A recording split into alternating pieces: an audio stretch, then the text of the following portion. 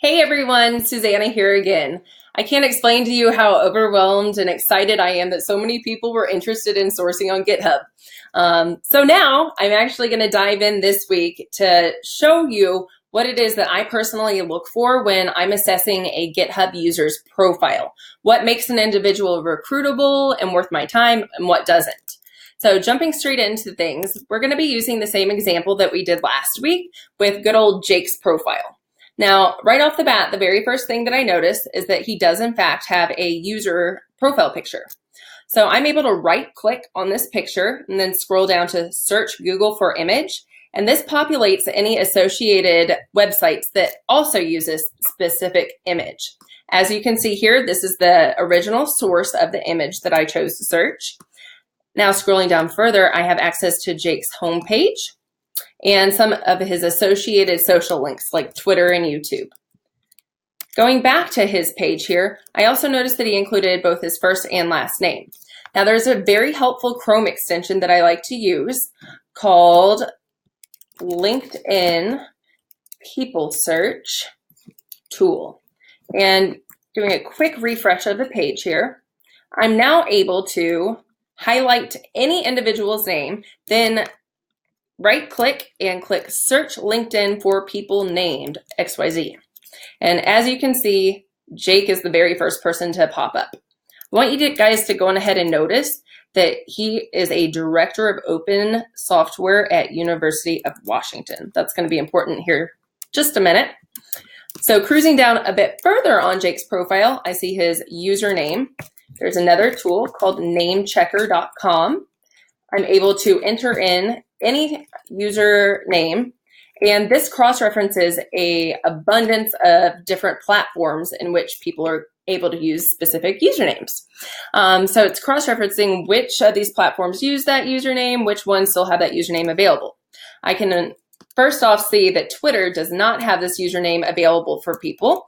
That to me tells me that Jake probably has a Twitter profile using the same username. Lo and behold, that is the case. Oh, and look at that. Mm, stay tuned. So going back to his um, user profile here, I now see where Jake is a data scientist at, that is a specific link to um, his employ his place of employment's GitHub profile, but it's the University of Washington, UW eScience. Now, I don't want people to get confused because this looks like it could be a school uh, or where he got his education. But this is always their place of employment. Um, scrolling down further, I now see access to where he's currently located. I do see where he chose to share his personal homepage, but I also see organizations that he's affiliated with, which is a honey hole of of talent. For example, if I were to come across a GitHub user profile of like a woman in technology in Seattle, and I clicked on that organization in particular, Let's check out this one. Um, I'm able to see which people actually belong to the organization. So that's a really good outlet and honey hole to, again, find like-minded individuals. Now, going back to Jake's profile here, I'm going over the overview tab now, and I see where he chose to pin repositories. Pinned repositories are typically, um, well, first off, a repository, that's kind of a big word that if you don't code, you might not know. And a repository essentially is like the ultimate project folder for all. Hmm, we're going to mark that as red real quick. Thanks, boss. So it's ultimately a project folder that houses all of the code for a particular project.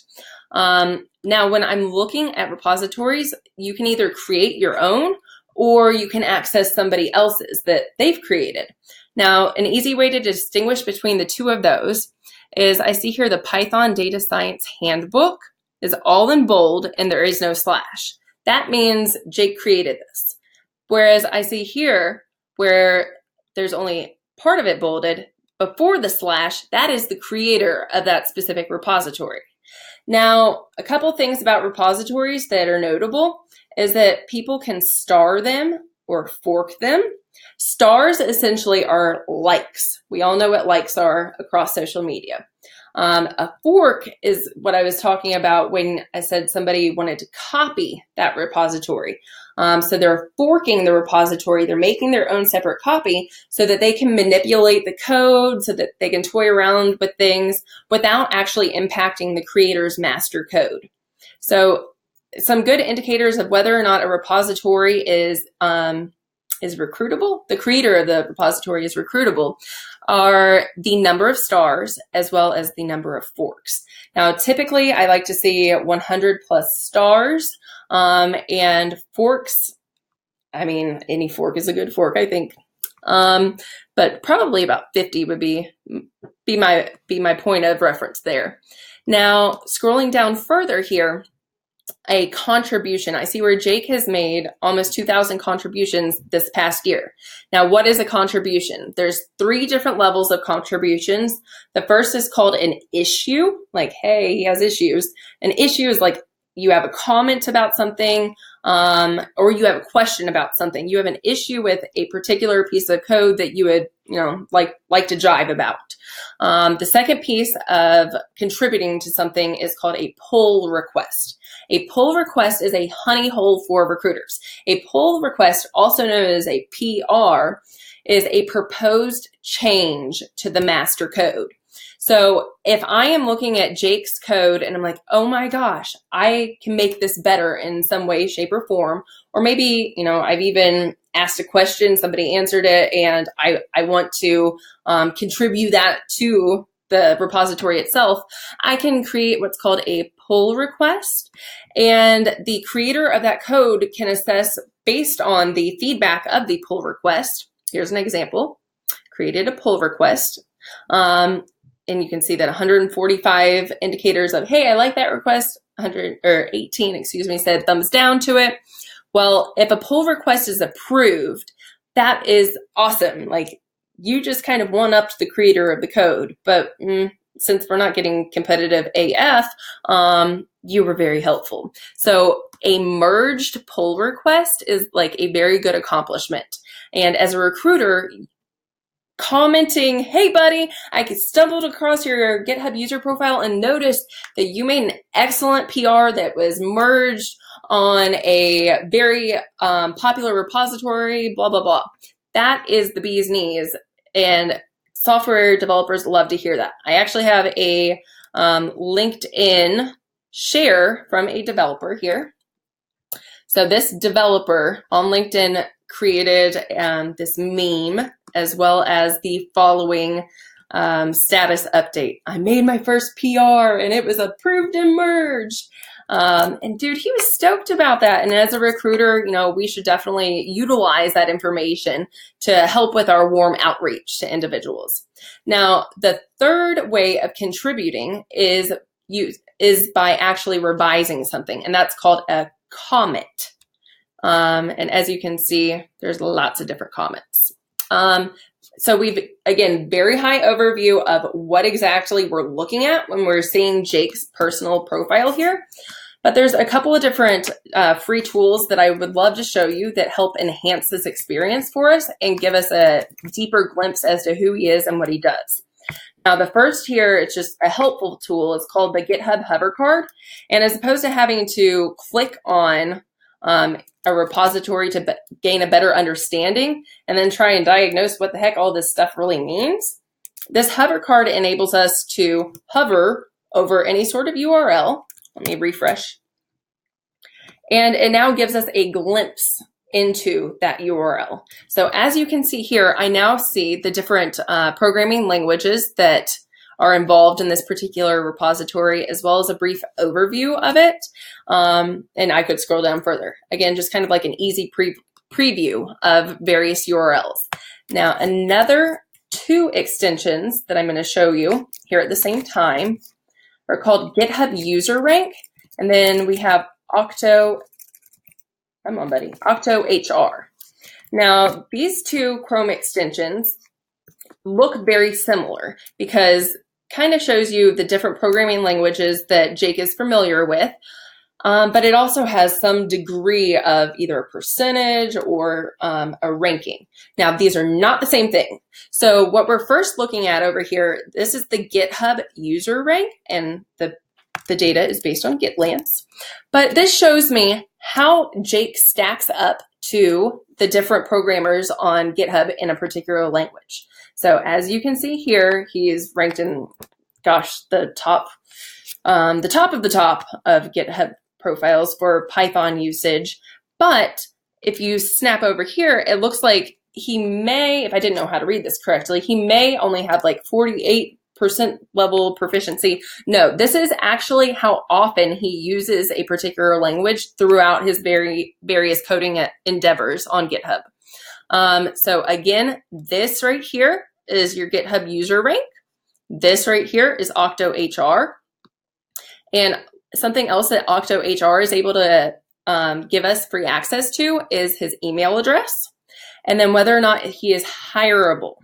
Now, I didn't mention this too much last week uh, when we dove into Octo Hunt, which is um, Octo Hunt is actually the counterpart to OctoHR's Seattle OctoHR's um, Chrome extension. So as you can see here, Octo Hunt is a way to search for individuals. Their compet- their um, complement is OctoHR, which is a Chrome extension. Both show you whether or not somebody is hireable on GitHub jobs. Now, as you can see here, Jake is not hireable. Go to Octo Hunt. He is not hireable. However, some individuals are in fact hireable. Now, this is based on the users checking a box um, as to whether or not they want to open themselves up as available for hire. This is very similar to like LinkedIn recruiters um, open to opportunities. Uh, and taking this again, I want to dive a little bit deeper into contributions here. There's two different ways that we can look at contributions to get a better understanding and feel for an individual. I want you just to kind of mentally note what this looks like now.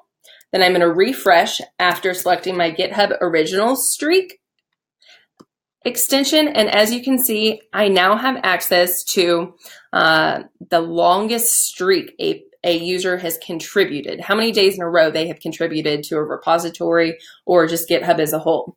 Now, what this tells me is that if this guy was humping it for 42 days on GitHub, he's super duper passionate about that project. So I might want to go back and find that project and I, I might want to even mention that in my outreach to him in um, whenever I decide to to reach out to him. But there's even a different way of going about visualizing this. And given the two extensions conflict with each other, I'm going to turn this one off and dive into isometric contributions and click refresh. So as you can see, this is a 3D representation of his contributions. And I can see what his busiest day was, which was not available on the last extension that we used. This is just totally based on your preference, how you like to go about visualizing things. Um, but if I want to just go on ahead and look at his normal chart for for the sake of that, since everybody has access to that. A couple things that stand out to me when I'm looking at somebody's contribution chart are the days that he is active or that they are active on GitHub. What I mean by that, primarily if they are active only Monday through Friday, then they're typically just contributing to work-based projects, meaning like their employment. Um, but Saturday and Sunday projects, those are fun projects. So that if I wanted to go click on a particular day on a weekend where I see there was a high level activity, then I could get a better glimpse as to what might Jake be interested in um, and what he might like to actually work on in the future. So those are, again, just really good ways of enhancing the actual uh, GitHub profile as a whole. But then there's three different quick tools, I swear, um, that help you get a better summarized understanding of who Jake is and what he does, what he excels at. The first is called CoderStats. It's yet another extension here. And it pops up on the left-hand bar, and it's a clickable link. I'm going to open it in a new tab for us. And this is essentially a summary of Jake's activity. Um, this is this is a great summary selling profile paragraph that you might want to send to your account managers if you do go about recruiting Jake. Uh, but taking it a step further, at the bottom here, there is a filterable table um, that gives you a glimpse as to all of his repositories um, he is either forked or contributed to. And as you can see, I, I have access to his most popular based on stars. Um, and then I could even take this one step further and use like a data scraping tool if I wanted to. For time's sake, I'm going to use Instant Data Scraper that just pulled that entire data set for me if I wanted to go back and view it at a different time. Um, now, even cooler than CoderStats, these are going to be two of the very last tools that I share, um, but they're actually websites. So the first is called GitHub Profile Fedepot. So it's gp.fedepot.com slash profile slash the username. And this gives you a very nice, uh, and it's kind of pretty, it's a visual representation of Jake's activity. And I'm able to move around um, whichever glimpse of activity that I want based on his comment date, which is nice. But again, I, it's a good visual representation. I'm not going to spend too much time because there's a cooler one, and it's called Talent Signals. Now, talentsignals.com slash user slash the profile um, username. This is my fave. So as you can see here, um, not only do I get where he works, his username, blah, blah, blah, um, I also see that he is not available for hire right now. So that's pulling information from a different extension that we use, as well as I get two email addresses, not just one. I get two email addresses, but I get a ton of information that was not accessible to me previously, um, such as when he joined GitHub. Um, I also get a glimpse into his favorite programming languages, which is very similar to, you know, the extensions that we use. But more so than that, I can see what his most recent programming languages are and which projects he actually contributed to using which programming languages. Now, what this tells me here, um, key information actually, is yes, we know that Jake is a Python programmer, but let's just say that uh, based on, I'm going to switch back over to his profile. Based on this information, I would definitely think that, you know, yes, he's a Python pro, uh, he's a Python programmer.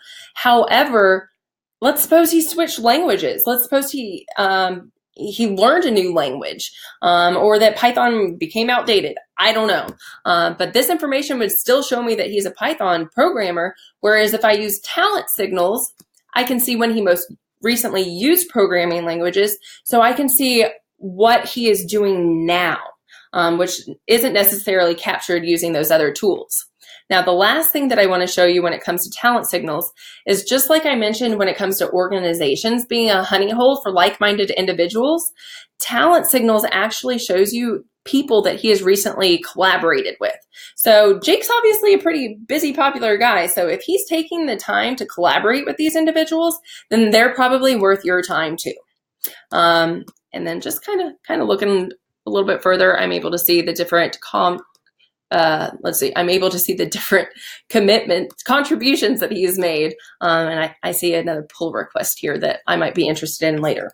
But again, very, very, very high level um, overview as to what a GitHub profile is and different tricks as recruiters we can use to help gain a better understanding of an in individual, what makes them recruitable, what doesn't, and lots of free tools. So I hope you guys found this very useful. Next week, we're actually going to cover um, how to find a GitHub user's email addresses aside from the ways that we already have. In addition, we're going to be able to stalk the heck out of them on various social media sites uh, using, again, lots of free tools, techniques, and technologies. Um, and as always, please don't hesitate to ask me any questions. Um, I love your feedback. It was so refreshing to know that I'm like not the only person that um, is trying to source on GitHub. So again, really appreciate you guys and stay tuned.